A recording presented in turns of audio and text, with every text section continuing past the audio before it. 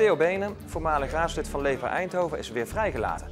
Benen werd dinsdag aangehouden omdat hij trots op Nederland raadslid Tony van den Berg had bedreigd. Benen heeft DNA afgestaan voor onderzoek en blijft verdachte.